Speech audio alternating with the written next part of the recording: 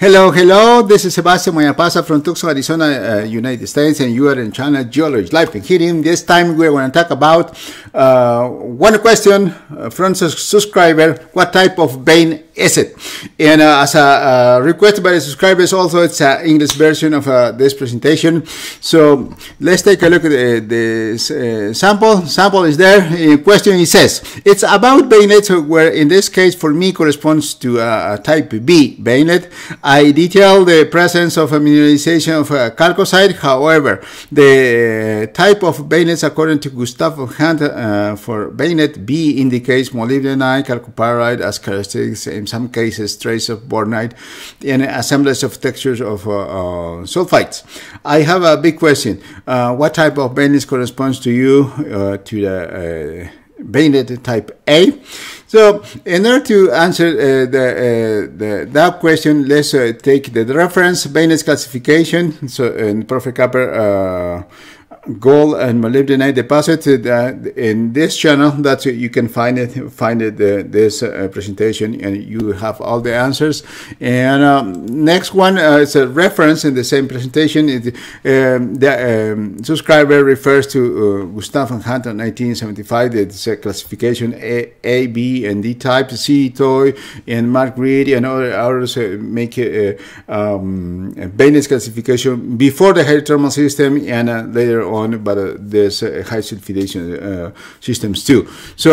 Um, and the next one is the veinlet classification. So if we are talking about a, a B type of veinlet, we need to have this quartz veinlet. Uh, it, it, might, might not have uh, and sulfides. And uh, second very important characteristic is this molybdenite, molybdenite chalcopyrite, and may, it might not have bornite and pyrite and no halo alteration. This is very important. No halo alteration for the, uh, the uh, uh quartz veinlets and thickness. You have a thickness and the temperature formation will be 400 uh, uh, Celsius and uh, the alteration will be chlorite sericite. For the type of a uh, veinlet is, supposed to be the early quartz veinlets with K feldspar. It might have anhydrite and uh, um, uh, sulfide mineralization may have bornite, uh. Mm, it might, may not have molybdenite. And a very distinct uh, uh, uh, uh, classification of potassic alteration halos and very distinct from strong to pervasive. And the thickness of the veinlets and of course belongs to potassic alteration.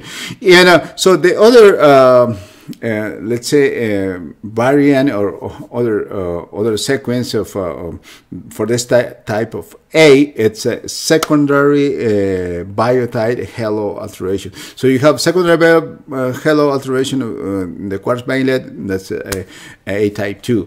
But I don't think we, we have um, secondary biotite halo alteration. I don't think we we have K feldspar or or we used to have K feldspar. I don't think so.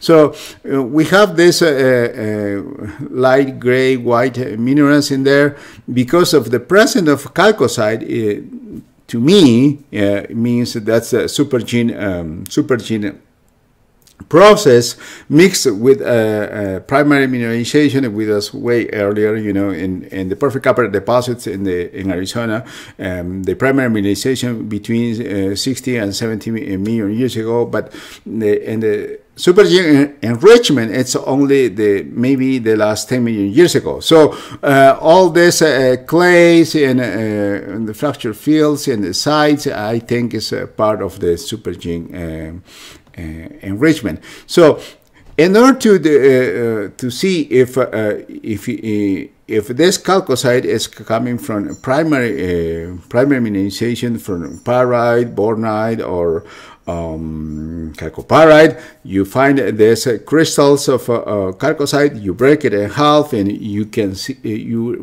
be able to see. Um, pyrite, bornite, or chalcopyrite. And the other thing is very, very uh, important. It is if you see in this uh, quartz vein, according uh, to your uh, reference, if you see molybdenite, that's the primary mineralization. So uh, I think you are right to make him put it as a B type. Okay, thank you very much. I hope you like it. And uh, subscribe and put a like if you, you like it and dislike if you like it. Thank you very much.